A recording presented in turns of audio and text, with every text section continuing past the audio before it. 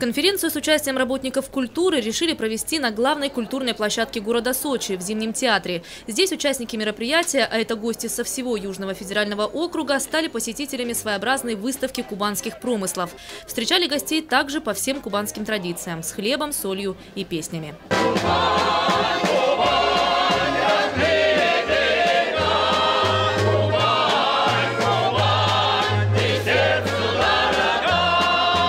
Открыл конференцию заместитель министра культуры Российской Федерации. Григорий Ивлеев отметил, что год культуры в стране оказался достаточно праздничным, что очень хорошо.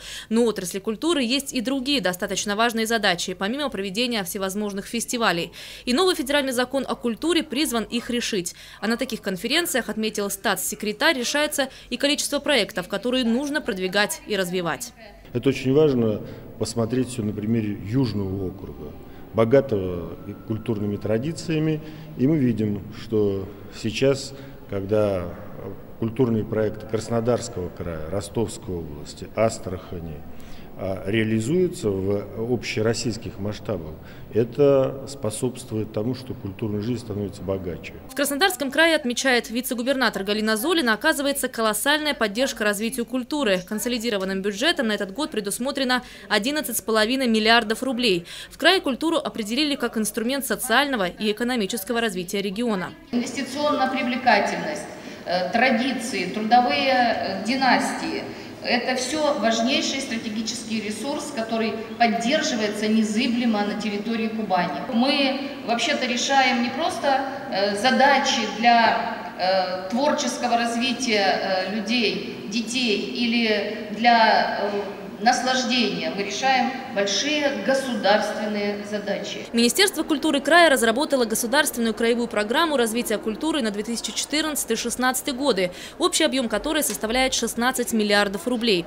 Сочи эту программу реализует в полном объеме. Да и сейчас, в разгар сезона, курорт проводит массу зрелищных мероприятий. Столь насыщенная культурная жизнь невозможна без соответствующей материально-технической базы.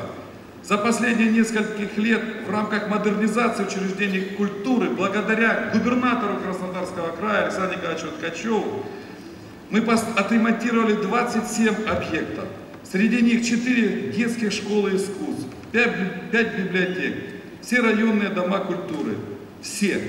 Семь сельских клубов, три музея, два концертных учреждения. Весь творческий потенциал город продемонстрировал во время зимних игр. В рамках культурных программ самих Паралимпийских Олимпийских игр мы видели лучшие коллективы нашего региона Краснодарского края и других регионов Российской Федерации. И э, почему у нас получилась блистательная Олимпиада? В том числе и потому, что у нас была замечательная культурная программа. Одна из первоочередных задач в год культуры – дать толчок для развития развития всем направлениям отрасли без исключения. Это и музыка, и кино, и театр, а также библиотеки и музеи.